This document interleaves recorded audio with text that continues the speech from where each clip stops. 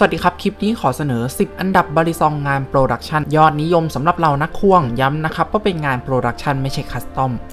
โดยการจัดอันดับนี้นะครับ เป็นเพียงความคิดเห็นส่วนตัวและจากการสอบถามนักควงบางท่านทั้งในไทยและในต่างประเทศ อันดับที่ 1 ได้แก่ Replicant G10 หนึ่งในมีดที่ไม่ว่าจะเป็นนักควงหน้าใหม่หน้าเก่ามือโปรขนาดไหนต้องรู้จัก และที่สำคัญหลายหลายคนมีในครอบครองพลาดไม่ได้เลยทีเดียวนั่นก็คือ Replicant G10 ตัวนี้นี่เองจาก b a s e Runner System ด้วยความที่รูปร่างหน้าตาหล่อน้ำหนักที่เรียกว่าพอดีกับการควง ด้ามที่มีความโค้งมนละมุนไปกับนิ้วมือ เรียกว่าเอาใจเหล่านักควงไปเต็มๆ และที่สำคัญด้วยราคาเพียงแค่ประมาณ 10,000 ต้นๆ เท่านั้นเองไม่แปลกใจเลยที่ทำไมถึงครองอันดับหนึ่ง ตามมาด้วยอันดับที่ 2 กับ Alpha Beat จาก Base Runner System เช่นเดียวกัน ตัวนี้จะเป็นตัวอัปเกรดขึ้นมานะครับ วัสดุจะเป็นไทเทเนียม แต่ด้วยความที่ด้ามมีความเหลี่ยมทำให้เป็นรองและพิแคนในเรื่องของความโค้งมนเวลาควงเนี่ยและพิแคนจะให้ความละมุนนุ่มมือได้มากกว่า แต่เสน่ห์ของเจ้า Alpha Beat หรือว่า AB เล่มนี้เนี่ยอยู่ที่เสียงหลายๆคนได้ฟังเสียงแล้วต้องพูดเป็นเสียงเดียวกันว่าไพเราะมากๆ ที่สำคัญตัวนี้มีค่าตัวอยู่ที่ประมาณ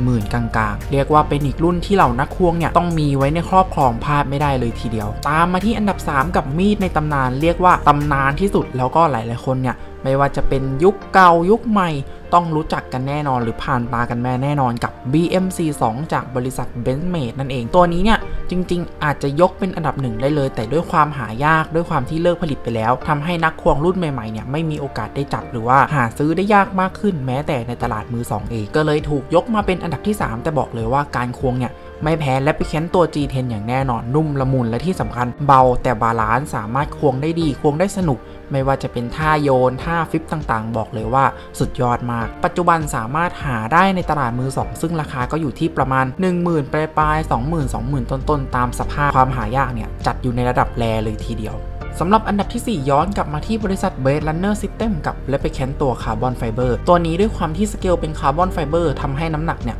มีการเปลี่ยนแปลงไปจากตัว G10 เล็กน้อย ซึ่งก็มีผลต่อ balance ในการควงแรงเหวี่ยงอะอาจจะน้อยกว่าตัว G10 ไปนิดนึง ก็เลยทำให้ตกมาอยู่ในอันดับที่ 4 แต่ก็เรียกว่าเป็นหนึ่งในมีดขวัญใจนักสะสม ด้วยความสวยงามน่าหลงไหลของด้ามคาร์บอนไฟเบอร์ และยังคงมีสมดุลที่จัดอยู่ในระดับว่าดี ก็เลยไม่แปลกใจที่ตัวนี้เป็นอีกหนึ่งรุ่นที่เหล่านักควงหรือนักสะสมต้องมีไว้ในครอบครองควงได้ และที่สำคัญสวยด้วย ตัวนี้จะมีราคาแพงกว่าตัว G10 อยู่ที่ประมาณ 10,000 กลางๆ ค่อนข้างไปทางปลายสักเล็กน้อย อันดับต่อมาเราย้ายบริษัทมาอยู่ที่ Jerry Hom Design บริษัทที่ทำบาลิซองใบนี่แหลมเฟี้ยวมากๆเรียกว่าหลายๆคนที่มีในครอบครองเนี่ยแทบจะผ่านการโดนทิ่มเนื้อกันมาหมดแล้วสำหรับตัวนี้ได้แก่ Basilisk ตัวคาร์บอนไฟเบอร์ด้วยน้ำหนักที่กำลังดีไม่หนักมากเกินไป แล้วก็ด้วยความยาวที่อยู่ที่ 10 นิ้วกว่าทำให้การควงดูสวยงามมากขึ้น แล้วก็ด้วยความที่ด้ามคาร์บอนไฟเบอร์เขามีความหนาแต่มนทำให้สามารถควงพลิกไปตามนิ้วต่างๆ ได้อย่างสบายมือที่สำคัญต้องยอมรับเลยว่าหน้าตาของเล่มนี้เนี่ยหล่อเหลา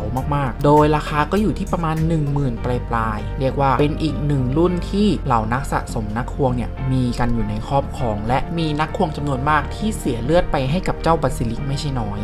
อันดับต่อมาได้แก่ Tachyon 2 จาก Microtech Tachyon 2 จะถูกแบ่งเป็นใบ tanto แล้วก็ใบ bowie ซึ่งบอกเลยว่าสามารถควงได้ดี และเป็นที่นิยมทั้ง 2 รุ่น ส่วนสาเหตุที่ไม่อยู่ในอันดับที่ 6 นั่นก็เป็นเพราะว่าเลิกผลิตไปแล้ว และที่สำคัญหาได้ยากค่อนข้างมากในตลาดมือ 2 ดังนั้นใครที่จะมีครอบครองเนี่ยมีเงินอย่างเดียวไม่ได้ต้องมีดวงด้วย แต่บอกเลยว่าเป็นบาลิซองที่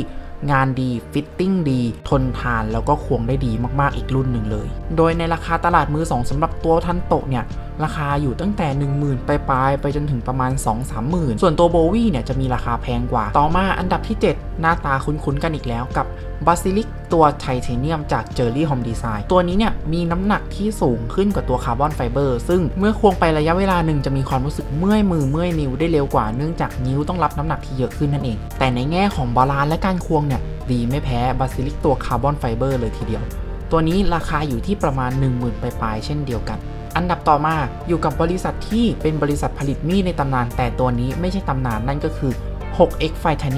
ที่ใช้คำว่า 6x เพราะว่าตระกูลนี้เนี่ยมีหลายรุ่นมากๆ ซึ่งตัวที่นำมาควงแล้วดี คือต้องเป็นตัว collab กับ Flytanium หรือว่าด้าม Flytanium ที่ผลิตจากไทเทเนียมเท่านั้น โดยด้ามเดิมของเขาเนี่ยจะเป็นสแตนเลสจะมีความสั้นแล้วก็หนักทำให้ไม่เป็นที่ชอบใจนักสำหรับนักควง แต่พอเปลี่ยนเป็นด้าม Flytanium แล้วเนี่ยเรียกว่าพลิกหน้ามือเป็นหลังมือ เป็นเหวเป็นฟ้าควงได้ดีเลยทีเดียว โดยราคาทั้งตัว BM6X กับตัวด้าม Flytanium รวมกันแล้ว จะตกอยู่ที่ประมาณหมื่นปลายๆหรืออาจจะทะลุ 20,000 ไปสักเล็กน้อย ขึ้นอยู่กับว่าเป็นด้าม Flytanium รุ่นไหนด้วย แต่อีกจุดหนึ่งที่ทำให้ หลายหลายคนเนี่ยเลือกที่จะเลี่ยงนั่นก็คือวัสดุใบที่เป็น D2 ซึ่งไวต่อสนิมยิ่งนักควงอย่างเราเหงื่อหรือว่า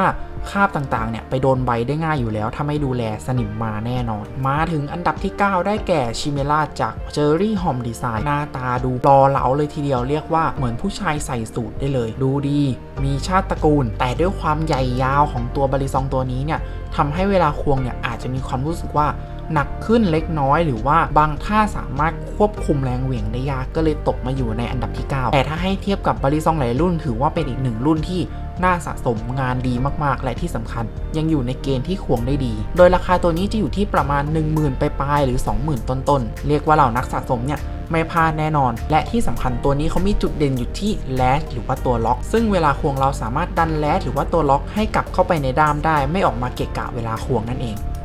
และแล้วก็มาถึงอันดับสุดท้ายแบร์โบนจากเบ l แลนเดอร์ซิสเต็มตัวนี้เนี่ยบอกเลยว่าน้ำหนักค่อนข้างมากด้วยความที่วัสดุด้ามเป็นสแตนเลสแต่มี balance ที่ดีมากๆ คงได้สนุกเหวี่ยงเล่นได้สบาย และที่สำคัญมีความทนทานมากๆ แต่ก็มาอยู่ในอันดับที่ 10 ด้วยน้ำหนักที่ค่อนข้างมากไปนิดนึง และที่สำคัญวัสดุอาจจะดูไม่พรีเมียมเท่าไหร่สำหรับคนที่เป็นนักสะสม